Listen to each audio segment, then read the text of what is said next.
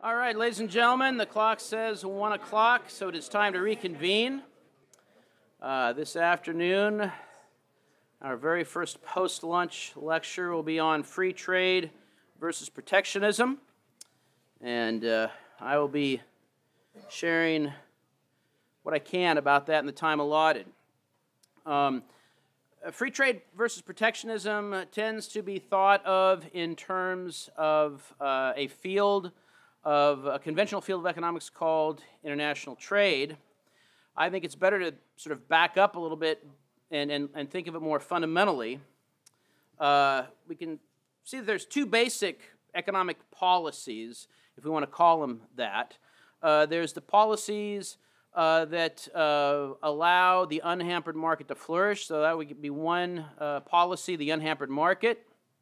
The other policy would be a policy of state control either outright uh, socialism or uh, a hampered market where the state intervenes to control some aspect of the market or to direct market activity uh, away from what an unhampered market would have in one way or another.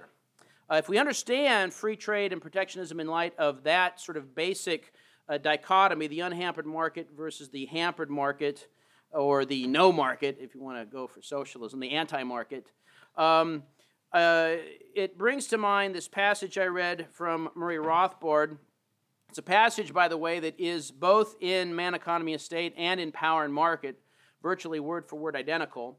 And he says, one very popular sub- subdivision of economics has been, quote, international trade, end of quote.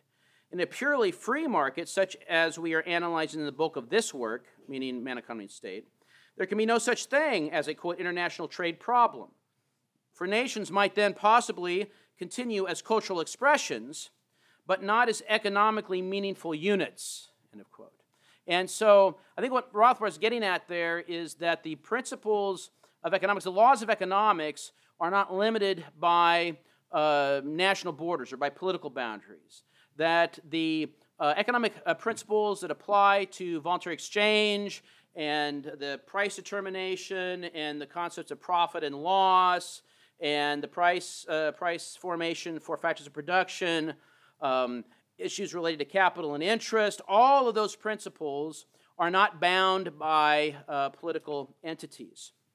And so uh, that's what he's getting at, and that's going to be sort of the, uh, the, the, the I, I, tend to embrace that, that position as well, that uh, the economic principles that inform interventions such as protectionism are not bound by political boundaries. Now, uh, then we can then that, that, informs how we understand even what we mean by free trade. There are two broad conceptions of free trade. Uh, a lot of people, the conventional view of free trade is what we could call sort of the Ricardian uh, free trade, the trade, uh, free trade uh, between uh, uh, people in different political entities, the free exchange of consumer goods across political boundaries while capital and labor do not move between countries. That was sort of the Ricardian when he talked about free trade and the big free trade debates in um, England in the 1800s. That was basically the debate. Free trade meant free trade of goods when capital and labor were uh, not mobile. Uh, another view of free trade is simply the ha- unhampered market. Free trade occurs when people are able to voluntarily trade consumer goods and producer goods, uh, regardless of where they are. Free exchange and movement of all goods, including factors of production, throughout the economic order, however broad that economic order is, right? In whatever societies or whatever uh, people groups uh, this economic order uh, uh, incorporates, right? And so I think that's the best way to think of free trade. Free trade is simply voluntary exchange and then a, a society is simply the network of voluntary exchange.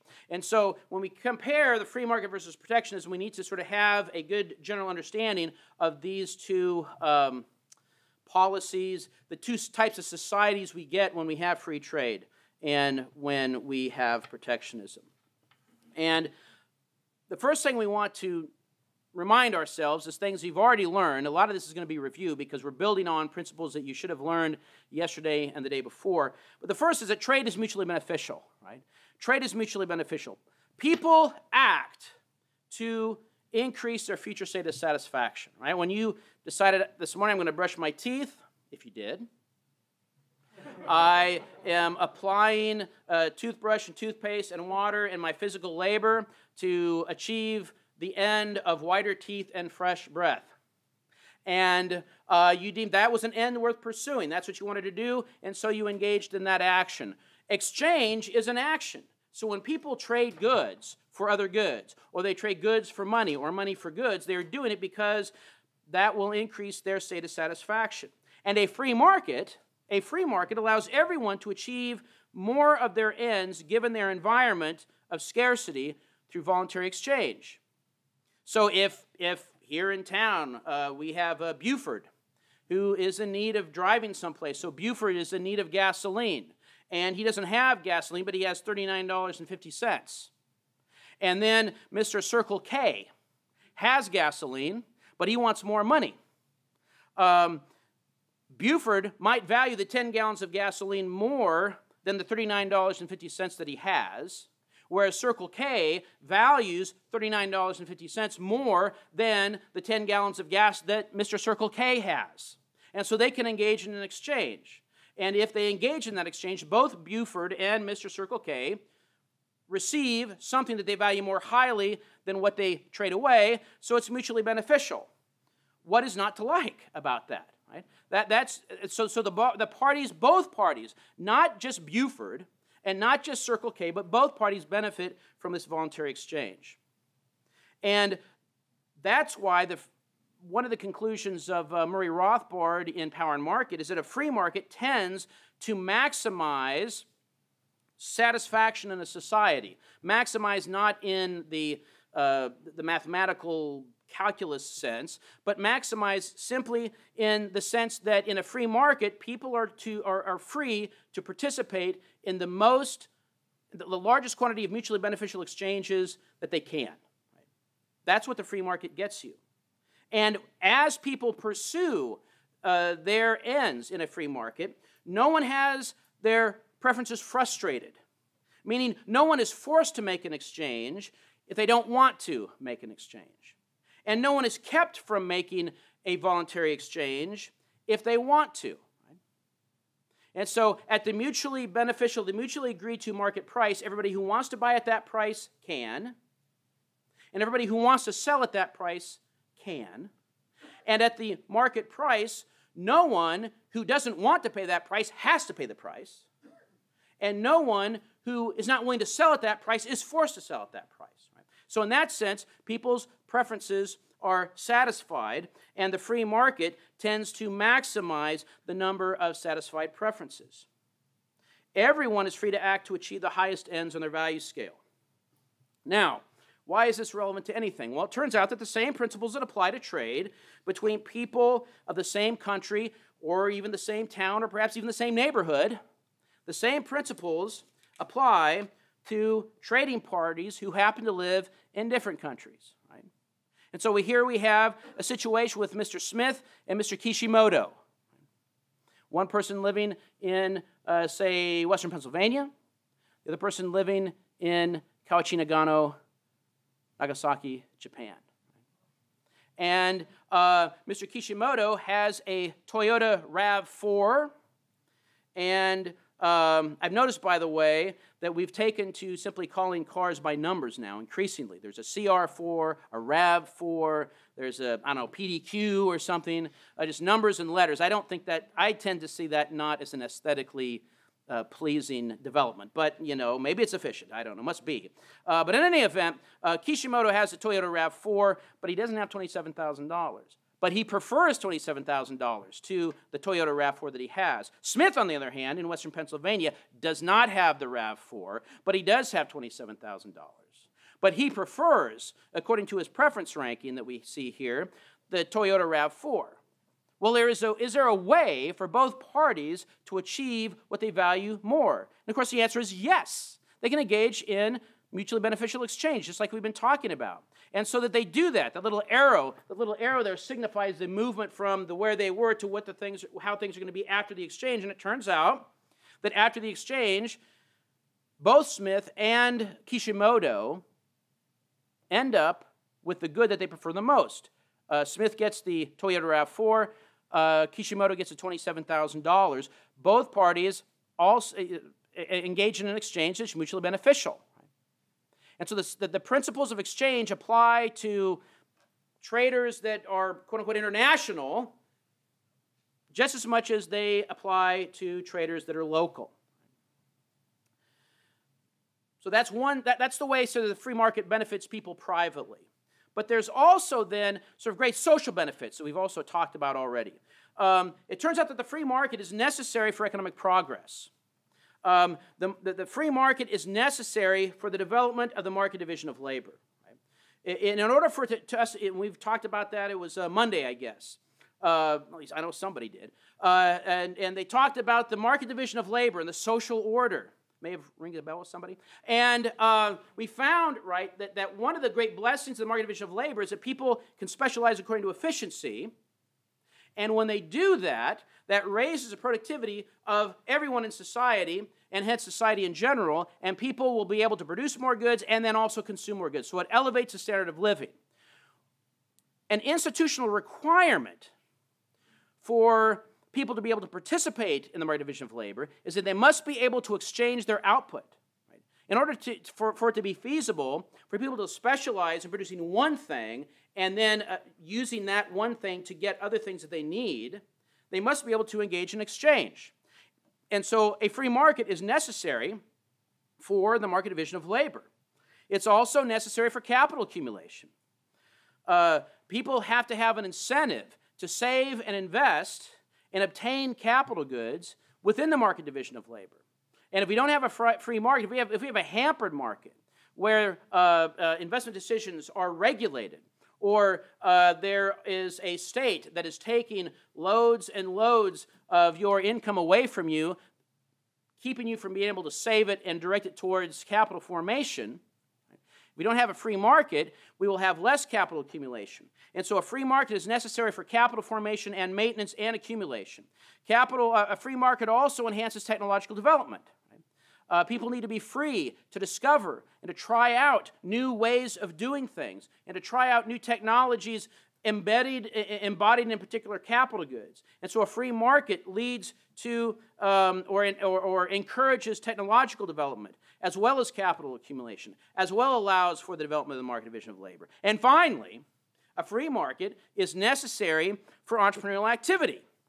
Entrepreneurial activity, as you've seen, is, is, is, is crucial for the economization of factors of production. Entrepreneurs earn profit when they economize and direct the scarce factors that they can obtain towards their most highly valued use.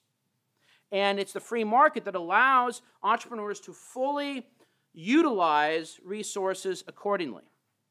And so, if we have a, a, a, a, society that is an unhampered market, because it is a society that, that, that dwells within and is supported by an institutional framework of private property, then we get the blessings of the market division of labor, capital accumulation, technological development, and entrepreneurial activity, all of which culminates in a uh, increased standard of living. Producers are able to be as productive as possible, in other words. Producers are as productive as possible. Resources are economized to the greatest possible extent. People can obtain and use more and better goods to satisfy their ends and also provide more for their families. That is the, the great social blessing of a free market. And incidentally, of course, as we participate in the market division of labor, as we've already seen, it is something that is socially productive, meaning uh, it is something that enhances the development of society. It, it, it, it, it, it increases this understanding that we, we know in, in a society, the market division of labor, in a free market, we benefit as we benefit other people. We gain income only to the extent that we can serve other people better than anybody else. Even, even the, most, the most greedy capitalist pig can only earn a profit in a free market if he serves other people more successfully than anybody else, as defined by the people themselves. And so that's what we get with the free market. Now, it's important to recognize that the market is, in fact, dynamic. Right? It's not static. Right? The market is some. Uh, the market is an institution by which entrepreneurs are trying to best serve other people, and these other people have preferences that change. And these other people live in an environment where the quantity of resources available change. And so we live, and, and technology changes. So the market is a dynamic place. And that means it doesn't stay the same from one period to the next. There are changes. There are changes in relative demands. There's changes in technology. There's changes in the quantity of population. There's changes in the stock of natural resources. And every change in the market has an effect. And every change in the market affects various individuals and groups in different ways.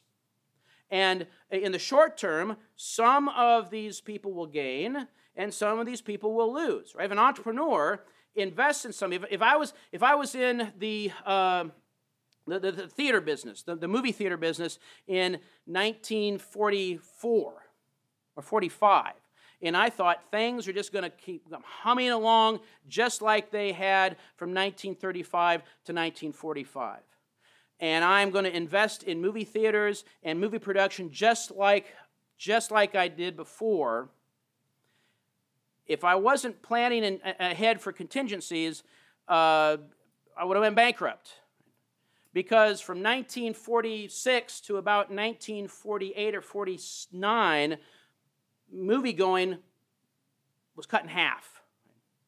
There was a tremendous drop in the number of movie tickets. And so if you just think, oh, everything's hunky dory, everything's the same, I'm just going to invest and do the same old thing, same old thing, changes in the market will be such that some entrepreneurs that don't foresee these changes or don't anticipate them well will lose.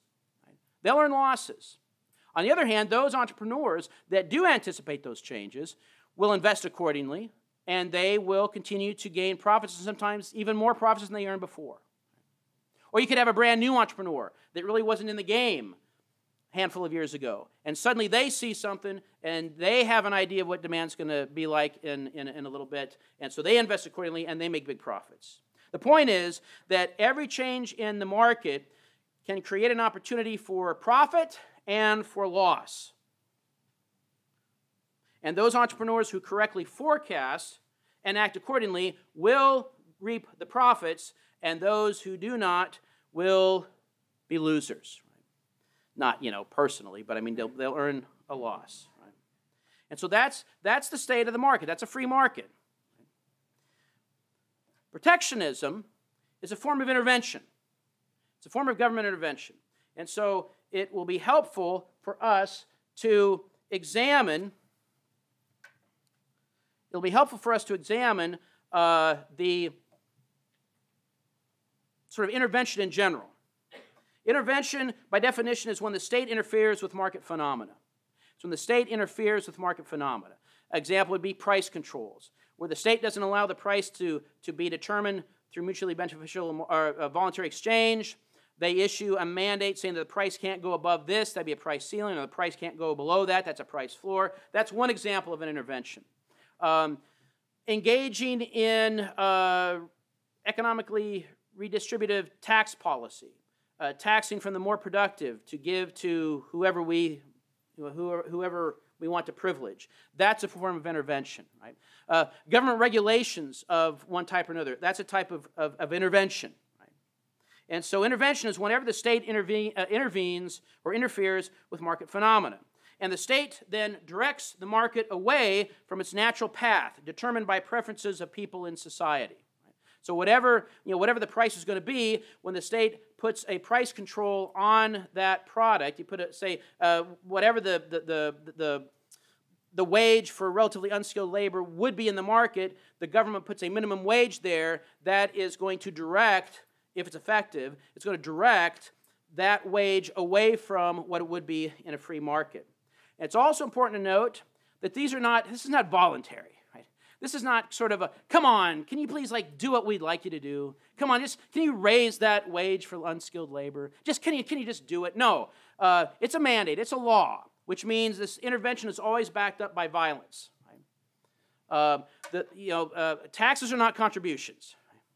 Uh, taxes uh, are required payments. And if you don't believe me, just don't pay your taxes and see what happens. Just, just a little experiment. I'm not advocating this, by the way. I'm just saying if you don't believe me, just if you if you would try it, you would see what happens. Um, now, it also we need to know that whoever is advocating for such an intervention, whoever is advocating for a minimum wage or for a rent control price or a price ceiling or is advocating for um, an income redistribution program uh, being paid for by taxes on certain people or giving grants to certain artists or certain, uh, certain professors in humanities programs or uh, whoever is uh, advocating for passing certain regulations on certain industries or certain companies, people who advocate for this are advocating for privilege to be given to somebody at the expense of somebody else. Uh, we're going to find that intervention, uh, one of the co- consequences of intervention is that it, it, it sort of divides citizens into different groups those who receive benefits from the intervention and those who are harmed by the intervention that's backed up by state coercion. Now, intervention in general results in relative impoverishment, meaning that people will be more poor or less wealthy as a result of the intervention uh, compared to if we don't have the intervention. Why? Well, there'll be fewer beneficial exchanges, fewer mutually beneficial exchanges. If the state intervenes and says you cannot engage in a labor contract unless you're willing to pay this amount of money, those people who are not productive enough to warrant the artificially high wage, but yet would be willing to work for a lower wage, those people are not employable. And those are people who would be willing to work and who would be uh, have employers willing to hire them, but they can't. But those, so those, that's a mutually beneficial exchange that is off the table that, that is made illegal. And so um, uh, when we have state intervention, we have fewer mutually beneficial exchanges. Uh, because there's less exchange, uh, the extent of the mar- market shrinks, so that, we know that constricts and contracts and distorts the division of labor. Uh, it tends to promote malinvestment, directing resources in a way that's different uh, than what we would have as a result of people acting only according to their subjective preferences. And so we have capital malinvestment, we have reductions in capital accumulation. Uh, intervention tends to stifle entrepreneurial activity. It, it, it, keeps entrepreneurs or some entrepreneurs from investing in the best way as, that, that they see to invest uh, based on their anticipation of future market conditions. And therefore, it inhibits economization. It inhibits economization. So it, it, it results in resources uh, being squandered, it results in productivity declining, it, re, it, it results in um, fewer goods being produced, and a lower standard of living in general. Additionally, you will see right there, it also promotes social conflict. As I said, it promotes a social conflict. In, in, instead of us all truly being in this together, all of us truly participating and seeing us as part of a mutually beneficial market division of labor, intervention pits citizen against citizen because it tends to benefit one citizen at the harm or at the expense of others. And that's what in, in, intervention does in general. If you, if you want to learn more of that in detail, I'd encourage you to take a look at Murray Rothbard's Power and Market, where he goes through a full analysis of this. Uh, Mises also wrote a very good monograph called Interventionism. I encourage you to take a look at that. Protectionism. Protectionism is a particular type of intervention. Protectionism is a policy that seeks to promote the national welfare. The national welfare uh, by extending monopolistic privileges to domestic producers of some goods, some particular goods. And they do that, they, they try to extend these privileges by encouraging exports and inhibiting imports. Right? So protectionism as a policy tends to promote the, the, the, exporting of goods produced by the domestic producers, and we want to forestall goods um, coming into the country produced by uh, people in other countries. And in general, we could say that this policy is driven by a, a, basically a mercantilist understanding of the nature of exchange, which is, as we've already seen, it turns out, a, a faulty understanding. Uh, it assumes that trade is beneficial only when we gain and others lose. Or it's beneficial when we gain more than somebody else's gain. It's okay if the, it, it's okay if the, you know, if the riffraff gain, but as long as we gain more than the riffraff, then it's okay, right? In other words, we, we have to be the one that gains the most. And the point is, we can't quantify this really. Uh, value subjective, so we can't quantify who gains and who loses in this way. But we, one thing we do know is that a voluntary exchange, both parties gain, both parties benefit. It's not a zero sum game, in other words. I think that's, that's, that's also helpful sort of principles to understand as we understand protectionism in general. What I'm going to do now is work through a handful of arguments that you see that are sort of common in support of protectionism, in support of protection in the form of tariffs, uh, taxes on uh, imports, or um, uh, subsidies for exports, but primarily taxes on imports, tariffs, and see what, what, what are the arguments that are brought forth commonly for these things, and we'll sort of analyze them as, as we have time. So the first argument for protectionism, uh, well, I should say this, by the way. Uh, all the arguments for protectionism are ostensibly to benefit the increase of welfare of the nation. Right? Um, protectionism is, is most definitely, it tends to be a policy, generally speaking, uh, of, of economic nationalism. But it wouldn't have to be like this. I mean, you can imagine a case where someone would say, you know, buy, buy Alabamian, you don't, don't buy any goods that are imported from Georgia? Definitely not Mississippi, right? Or, you know, we don't even want to talk about, you know, Connecticut, you know, Yankee land. We're not going to, you know, we don't want any goods imported from there. We don't, I don't know why they're bringing down professors from Pennsylvania to lecture here. Aren't the professors in, uh, you know, Alabama good enough? Uh, that, that actually was a, somewhat of a question to me. I know that they, they, I, I did something similar to this on a smaller scale up in Canada, and at the border, they actually are very concerned about this. They, they look at you sort of suspiciously if they know that you're going up there to lecture in Canada. And they sort of ask these questions, well, oh, I, am going to an academic meeting. I made the mistake the first time saying I'm lecturing. And then they said, no, no, just say you're going to an academic meeting. That's a little bit, you know, softer touch. But you say I'm lecturing. So, oh, well, they, they kind of this look like, well, are there not, are there not enough people in Canada who can lecture? And I'm thinking, well, obviously not, or I would not be invited, right? so, so, here I am. Uh, but, but you know, we could, you could take that tact if you wanted to. Um, but the, the, the, Constitution does sort of ensure sort of a, a, the United States is a free trade zone, if you will. Uh, so, uh, from our perspective, protectionism is very much a sort of uh, uh, economic nationalism. It's, it's, you know, buy USA and don't buy anything produced by, by, by someone who's not in the USA. Um, so the goal of protectionism in general is to increase the economic welfare of the nation.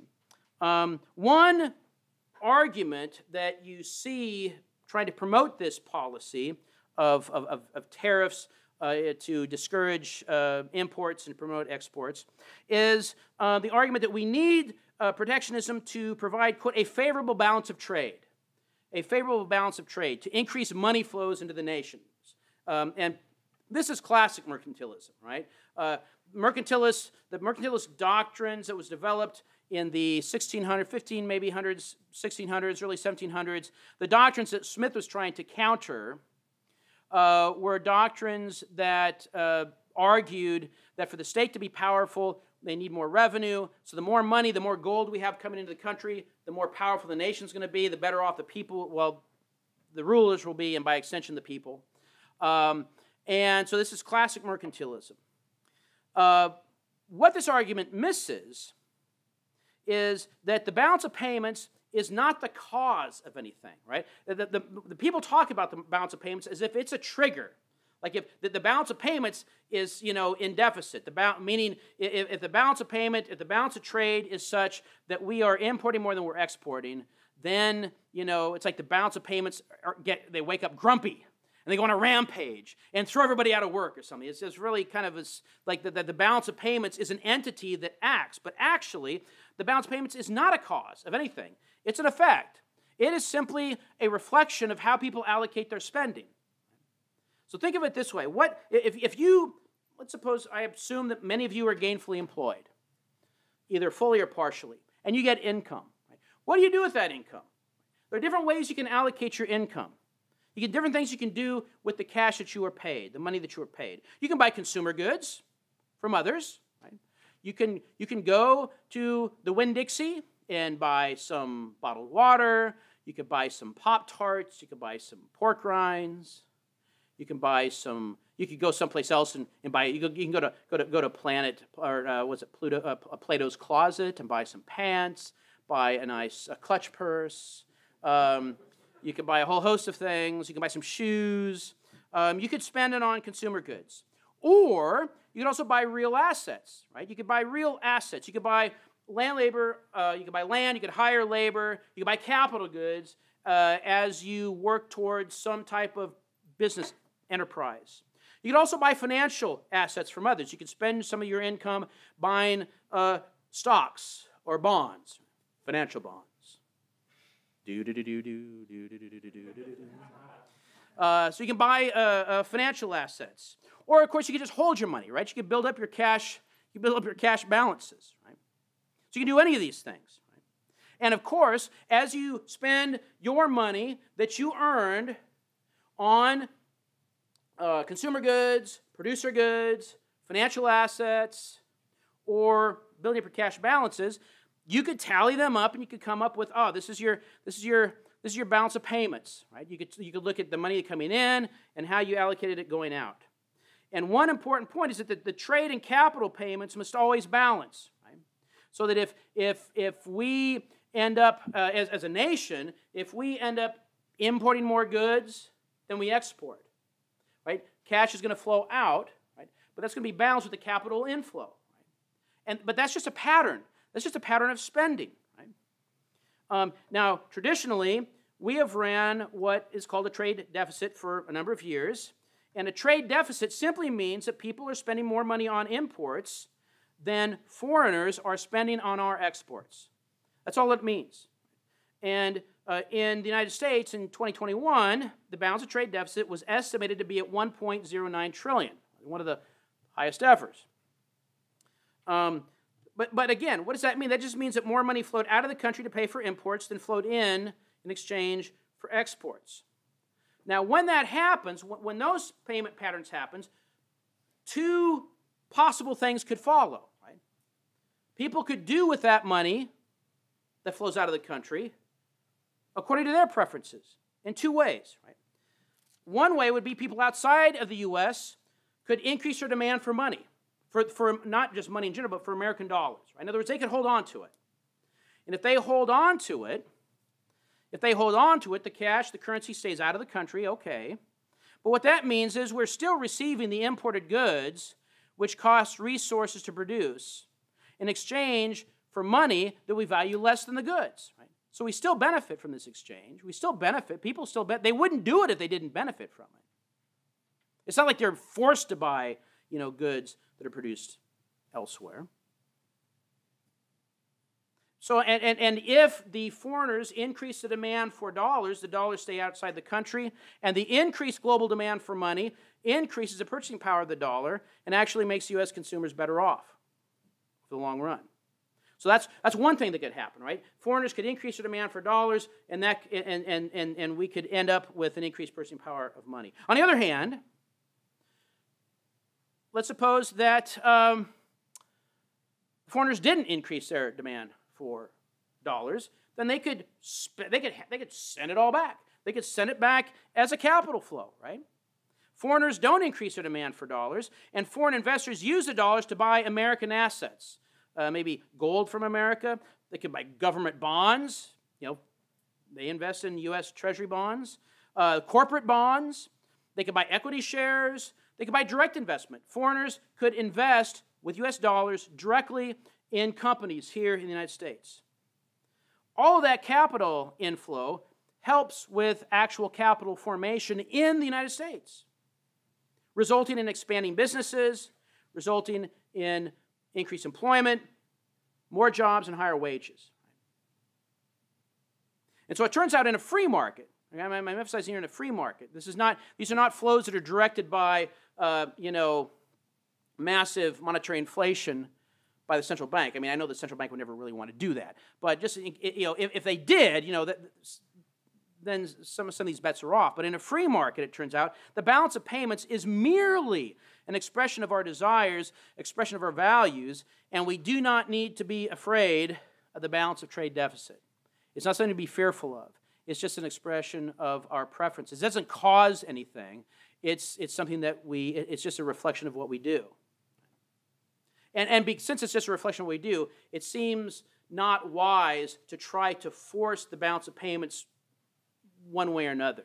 Because you're trying to force something against the, pre, the, the, the, preferences of, of people, and that tends to be a, a, a temporary uh, band aid at, at, best. And there's really no, not even a boo boo to cover with a band aid. Um, another argument, wait a minute. Yes, another argument uh, in favor, no, I'm sorry, another argument in favor of um, tariffs is that we need tariffs to benefit domestic labor and domestic businesses. We need to protect domestic businesses from foreign competition that's just I mean, too good or too underhanded or too sneaky or too something. They're too something. Um, so the argument is that the tariffs tariffs increase the price of foreign goods relative to domestic goods. So domestic producers and their employees benefit. Therefore, the welfare of the country is increased. If, if our domestic producers, you know, if, if you know, if the saying goes, as, as, as business goes, so goes the nation. So if our domestic producers, uh, their welfare is increased, the national welfare must be increased. The reality is that tariffs benefit some domestic producers at the expense of others.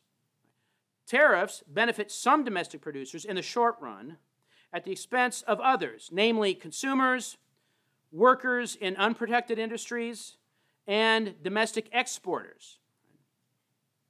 So, suppose, for instance, that the U.S. imposes a tariff on imported shirts, which they do. But suppose that they do. And they do. This will, this will increase the price of foreign shirts relative to domestically produced shirts. Because if, you know, if, if, if the, the, the price of a, of a domestically produced shirt, let's say, is, of a dress shirt, say, is like $60, but some foreigner can produce it for $40, and then they ship it in here, and it looks like, okay, retailer maybe $45, that's just too much. That's, that's, that's too big of a price. How can we compete against this? I know, let's put a $15 tariff on Put a $15 tariff on it, that's going to boost the price, the, the, the, full price of the shirt up to $60. Now, now we have an even playing field. Right? So that's what they do. Right? They put a tariff on there, and that increases that increases the price of foreign produced shirts relative to domestically produced shirts. Now, uh, what's the short run effects of this? The short run effects follow. The price to the consumer is going to be higher with the tariff than the free trade price. Without, without the tariff, the foreign producers of shirts would be, would be able to supply the U.S. market uh, in terms of in, in, in freely, and there would be a market clearing price that would be lower than it would be without the tariff. So with the tariff, the price is going to be higher. And another short run effect is that the quantity of shirts consumed will decrease. It'll be lower because the price is higher, right? According to law of demand, that's going to happen, right? Because of the law of marginal utility, when the price of the good goes up, the quantity of the good demanded will fall. And so consumers will be paying higher prices for shirts, and they will be purchasing fewer shirts. At the same time, in terms of the number of the shirts that are actually produced and sold, the domestic producers will sell more shirts the domestic producers of shirts will sell more shirts temporarily. And that means that some previously unprofitable shirt production will be undertaken for profit in the U.S., not because people's preferences dictate that it should be, but because the tariff has made it allowable. The tariff has allowed less efficient producers to continue to produce. And so those producers those producers are the benefit of the privilege. Those producers are privileged by the tariff. And those protected American producers are subsidized at the expense of three groups. One of these groups are the consumers that we've already talked about. They, the consumers, pay higher prices for fewer shirts. And because of paying higher prices for the shirts that are protected by the tariff, they also have less money to spend on other goods. So even if even if they say, "Well, I have to have five shirts," so I'm going to spend I'm going to buy, spend whatever I have to do to get my five shirts for this year or whatever. They're still going to have less money to spend on other things. So they're going to have to do with less of something because of the tariff. And so one group that is harmed is the consumer. Another group that is harmed is the workers in the unprotected industries, the workers that are in industries that are not the shirt industry. And they're harmed because the demand for their labor will be somewhat less than it was before the tariff. Because consumers, remember, have less money to spend on other goods. And so there will be a decrease in demand for some other good, and therefore the demand for labor in that other industry will fall also. And their wages will fall, and there will be fewer jobs in that industry.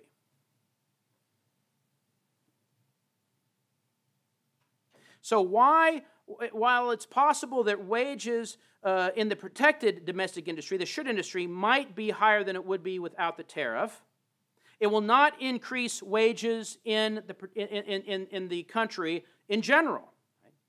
Wages are determined by the supply of and the demand for labor. And the demand for labor is determined by the productivity of the worker and the price, the selling price of the product being produced. And a tariff does not increase the demand for goods in general in a country. And it does not generally increase the productivity of labor in that country. And therefore, a tariff on a particular product will not generally increase wages in that country and will not increase the number of net jobs in that country. And so, a tariff protecting a particular domestic producer will not increase social welfare for the nation. It will benefit some producers temporarily, but the, at the expense of uh, workers in unprotected industries and consumers and American exporters. Those people that specialize in goods that are primarily for export, when fewer imports are purchased from the United States, fewer dollars go abroad.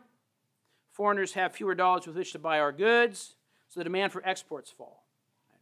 And so um, you are benefiting some producers at the expense of consumers and other producers in your own country. In your own country. And this advantage is only temporary. This advantage is only temporary. Even this advantage is only temporary. In the long run, the privilege of the tariff loses its power to create even the specific gains. And why? Well, if there is a situation where, uh, because of the tariff, the price is held artificially high. Do entrepreneurs prefer higher prices for their products or lower prices? Higher prices. Higher prices. They prefer higher prices. And so that will draw entrepreneurs into this industry. Entrepreneurs will be encouraged to enter the privileged industry because they'll say, hey, these people are getting government privilege and I want in on it. And what's going to happen then? As, as more people say enter the shirt market or the protected industry, what's going to happen to the, the output in that industry? What's going to happen to the quantity of goods produced in that industry? It's going to increase. And so what would happen? What will happen to the market selling price? That price will fall. And so what tends to happen is that competition tends to eliminate the specific gains derived from the privilege. So over time, even the short run privilege to the protected industries will not be permanent, they'll be short run. And this then tends to then result in what? Further lobbying for increased protection. Right? And we need, you know, what about American jobs? We thought that this tariff was going to do the trick, but, and, it, and it seemed to work. But then somehow it didn't work. So we need even more protection and more protection. In other words, it's never enough. It's never enough to maintain this, this level of protection. What, what does happen in the long run is there is a distortion of the structure of production. Right? Part of the, of the world's shirt production was shifted away from places where production is more efficient to the United States, which requires higher production costs to produce the same product. Um, output then per unit of input is lower. Right? It, it, it, it shifts production uh, away from where producers are efficient in shirt production to places where they are less efficient in shirt production. And so output per unit of input is lower, which means, of course, higher domestic prices for shirts become a permanent trend. Right? This, is, this is not, to use a, a word, transitory. This is, this is a permanent trend. And uh, until the tariffs are lifted, that pattern will continue. Um, some industries would shrink. Some industries that exist for producing other goods would shrink. Others would even would be prevented from growing at all because a greater part of the domestic country's land, labor, and capital is employed making shirts than they would in an unhampered market. And so the division of labor gets distorted, the capital structure gets distorted. The volume of U.S. trade in general would be constrained. So that ultimately, no one derives a sustainable, perpetual gain due to the tariff. And everyone is hurt by a drop in total output in society's productive effort. Even those people that may earn higher wages are going to pay for it in terms of fewer goods made uh, that, that would exist because of the distortion of the division of labor and the decrease in productivity. And we're out of time, so I'll stop here.